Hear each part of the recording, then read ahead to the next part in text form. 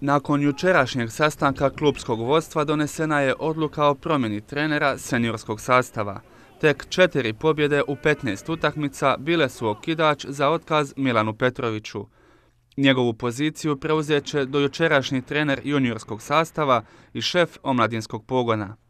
Novi izazov, nadam se da će biti sve u redu, očekujemo E, očekujemo naravno da što prije krenemo s treninzima da bi se mogli što prije pripremiti što bolje za nastavak prvenstva.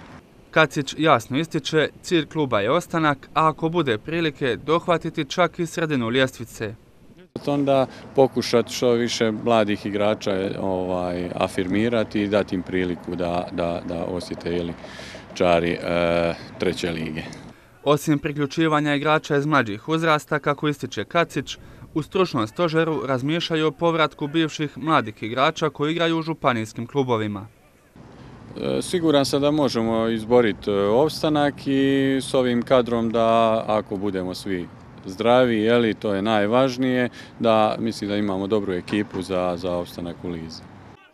Prvu službenu utakmicu kao trener seniorskog sastava u ovoj godini Hacan Kacić trebao bi imati 23. veljače na stadionu Lapadu kada će Dubrovački trećeligaš ugostiti prvoligaša, nogometni klub Slaven Belupo u osmini finala Kupa Hrvatske.